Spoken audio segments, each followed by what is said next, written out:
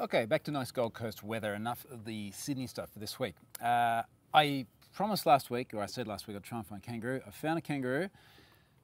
It was right there, and then as they're prone to do, hopped away. So no kangaroo. We're sitting in a nice garden instead. Uh, as you can see, for those of you watching, shorts, t-shirts, very relaxed environment here. What are we at today on the Gold Coast? 29 degrees Celsius, which is quite nice. So it's actually starting to feel like summer here. Now, um, just to begin with, there is going to be some content in this week's weekly update about some data breaches of a very adult nature. If you don't want to listen to that, or if you have kids in the car or something like that, you might want to tune out by the time I get to that. I'll tell you before I do. It's going to be a little bit after some of the other InfoSec stuff. But I think it's interesting and it warrants discussion. Uh, and I learned some things. Admittedly, things I didn't want to learn, but I learned some things. So, kicking off this week, uh, yeah, here's an interesting one. In fact, I had not seen this come across my radar uh, until it, it, popped up on the Twitters, but it does make a lot of sense. And it's about Chrome blocking mixed content. Now, mixed content is when we load a page over HTTPS, but then there are things embedded in the page which are loaded over HTTP. Uh, so traditionally what's happened is, uh, certainly in Chrome, if you've embedded, say, an image over HTTP into an HTTPS page, you would then get a little warning indicator up in the address bar to say, hey, there's actually mixed content, the entire page is no longer secure. Images still load over HTTP wouldn't be secure. If you had active content, so for example, JavaScript, it would actually be blocked. You get to keep your padlock, unlike mixed content, which is passive, such as an image, keep your padlock, but then over the other side of the browser on the top right hand corner, you've got a little shield with a red indicator and a warning saying it's been blocked. If you unblocked it and you loaded active content over an HTTP connection, then you'd lose your padlock and you get a big red warning sign. Uh, the best possible way we had of dealing with this, other than not embedding stuff insecurely, is to use a content security policy and use upgrade insecure requests, which would upgrade everything embedded insecurely in every browser except for Internet Explorer, which frankly we don't really care about anymore. So that was days gone by. Now, here is what's coming in Chrome, and this is what's quite interesting. So this was a blog post on uh, October 3. I didn't notice it till just the other day. Today we're announcing that Chrome will gradually start ensuring that HTTPS pages can only load secure HTTPS sub resources. In a series of steps outlined, we'll start blocking mixed content by default then, then uh, this change will improve user privacy and security on the web and prevent a, uh, present a clearer browser security to UX to users. Oh man, struggling today. All right, so without going through the whole thing of the timeline, uh, in Chrome 79, which is slated for December, we'll introduce a new setting to unblock mixed content on specific sites reading this, this sounds very enterprise, doesn't it? You know, like we've got an enterprise application. We would like it to do screwy things, and rather than fixing it, we'll just like hide the warnings. The more interesting bits come in Chrome 80, which is then looking at January, uh, where mixed audio and video resource resources will be auto upgraded to HTTPS, which is cool because this is almost like automatic upgrade insecure requests. Chrome will, uh, so up to go to there, and Chrome will block them by default if they fail to load our HTTPS. So it's like only HTTPS, if you can't do HTTPS, the thing gets blocked. Uh, and also in Chrome 80, mixed images will still be allowed to load, but they will cause Chrome to show a not secure chip in the Omnibox, which of course is a big search bar across the top. In Chrome 81, mixed Im images will be upgraded to HTTPS and Chrome will block them if they fail to load over HTTPS. So effectively, Chrome is, is sort of going down this upgrade insecure request by default route, which, which is good. Of course, the only problem we're going to have here is if there are websites that sort of depended on loading things insecurely uh, and they can't load them over a secure connection, so the, the host name that's being requested just doesn't support HTTPS at all. And that's obviously then going to cause problems because the content won't load but it's the right thing to do. And it's a sort of gradual transition of forcing the web to go more and more secure, giving people time, giving them warning. Uh, and ultimately, I can't see things like this actually causing really serious issues. Certainly not issues that people really shouldn't be aware of already, other than enterprise applications, but we're back there again. So that's super cool. Uh, this was posted by uh, Emily Stark and Carlos Juan Rafael. Carlos. so, uh, good stuff from those guys. Now, speaking of browsers and HTTPS and security indicators and this sort of thing, Chrome 70 has dropped, the Chrome 70, Firefox 70 has just dropped and it has finally killed off the EV indicator. Now, this has been a long time coming, and I do take some pleasure in seeing this because it was such an absolute waste of space. And I've spoken many, many times about this and written many, many times about how EV is dead and it was useless for years before we actually got to the point of killing it. So I do watch this happen with some degree of pleasure, quite admittedly, because it does see people like Scott Helme and myself, uh, I guess our views reinforced, which is nice. What is still of much amusement to me is to look at some of the arguments just trying to resurrect this dead, dead thing. And someone, someone who is probably Scott, pointed me at a thread here uh, where someone has posted onto the, uh, what's this? This is the mozilla.dev.security.policy Google group. And uh, this gives you a good idea of just how poorly misunderstood a lot of this is.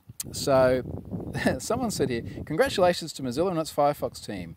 Here is the ZDNet article from today, and the title here is Germany's Cybersecurity Agency, this is the BSI, recommends Firefox's most secure browser. And effectively, what we get down to here is he's saying, uh, according to BSI's new guide, to be considered secure, literally in quotes, a modern browser must satisfy these requirements. One of these requirements is talking about BSI finding that Firefox is the only browser to support EV. Now, this is a really, really screwy thing. Now, I think I know what he think he means, but I don't think that he actually understands that what he means is different to what he's saying.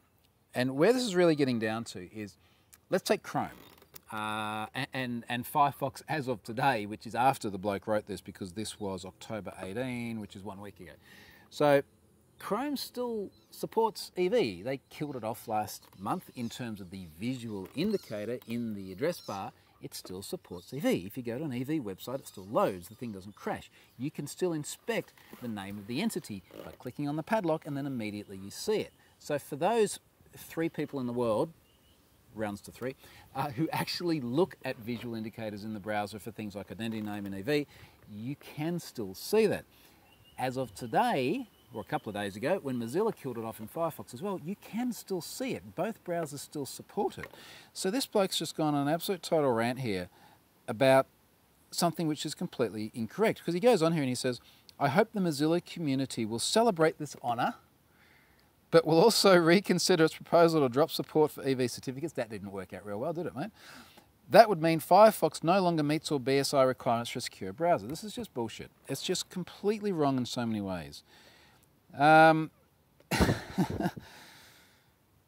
and then it's like some of the usual suspects who just, again, beat this visual indicator dr drum over and over and over again somehow hoping it's going to change the reality of all the browsers having dropped it. Uh, anyway, I'll link to this because it's amusing reading. I find it amusing anyway. So fortunately, where that leaves us now is that every time someone pops up and says visual indicators are really important and we really should still have the EV indicator, so well, good luck with that because none of the browsers do it anymore. The only one that still does it as of today of the big four is going to be Edge, how many people really use Edge? It would be interesting to see actually. Will Microsoft drop it given the Safari and the Chrome and the Firefox situation? If only I knew someone in Microsoft to ask. That'd be an interesting question. Uh, and it goes on and on and on. Oh, like the rest of this is pointless. so, um, oh boy, speaking of pointless. Now, this is going to be the bit where I start talking about the data breaches of a very explicit nature. And how should we best do this? I want to try and be objective and factual about this. It is hard not to talk about it without casting your own sort of moral judgment on it. And in some faces, some faces, in some places, find it like a combination of uh, abhorrent or amusing. Now, the boy, where do we even start? Let's just get into it. There's a website called Zooville. Uh, Zooville is for zoophilia and bestiality, which is basically humans and animals. Okay, humans are animals, but humans and other animals other than humans uh, enjoying intimate moments together, uh, which also includes pornography. And apparently, uh, strictly speaking, pornography is still the word if it was a human and an animal uh, engaged in a sex act.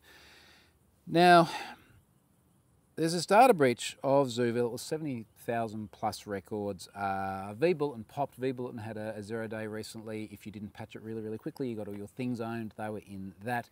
Um, there is a separate discussion here about why on earth would you self-manage vBulletin. I just, okay, cost, but here we are. Don't do that. Go to managed platforms. I've ranted about this many, many times before. So a whole bunch of stuff has been breached. Now, a, a discussion then ensued uh, about what my responsibility was to report it to law enforcement. And the, the position that a few people made is that because I'm aware of this site, I should report it to law enforcement. Now, there are multiple different things to unpack here. First of all, this is a clear web website. This is not a dark web website or a hidden service. It runs on the clear web. You can go to, you probably don't want to, but you could go to this website right now in your normal browser. So it is out there, it is mainstream, based on archive.org. It's been there since at least the beginning of the year, so this is not something that just popped up yesterday, it's been there for quite some time. So it is out there in the public domain, you can find it on Google. It is well indexed, apparently SEO is a thing in the bestiality world. As I said, the things you learn. Um, it also turns out there are many different subgenres of this. So, and, and, again, this is where I said this is probably not what you, what you want to listen to with kids, or if this is not your not your thing. Look, it's not my thing either, but I just find the whole thing fascinating as it relates to breaches. But the, the genres include uh, performing the act itself uh, with an animal, or also looking at pornography, which was created about others performing the act with the animal, and the legality of it is actually quite different. Now, where this again sort of relates to data breaches and my responsibility is for the people that popped up and said, look, I should be reporting this to law enforcement. I said, well, there's a few issues here. Clearweb website, running there for months, there has now been a data breach and I have the data. Does that then make it my responsibility to report to law enforcement, given that the data breach doesn't really change the fact that it's out there, there's tens of thousands of people using it, it's indexed by Google, it's not exactly a secret it's a well-known thing, I guess, within those circles or for anyone who wants to look for it. So I didn't feel completely confident on that perspective. The other thing, and this is where I really did learn stuff that I didn't expect to learn, I'm going to open up some of the references here, is it turns out, depending on where you are in the world or depending on where you are in America, for the US listeners, it is actually legal. Now, I'm going to open this just because it's, it's fascinating in an oddly strange way. But um, there's a couple of Wikipedia pieces here. Uh, zoophilia in the law. Zoophilia in the law looks at the laws governing humans performing sex acts with non-human animals. Laws against humans performing sex acts on animals, where they exist, are concerned with the actual act, which is commonly referred to, which it commonly refers to as bestiality, rather than the sexual attraction of animals. Now, again, I, I did warn you, like this is a weird, weird weekly update. For this reason, prohibitions of zoophilic pornography are more varied. So, this is sort of owning images of the act. They may be unlawful if an actual sex act with an animal is involved, but the status is not clear and it goes on and on and on.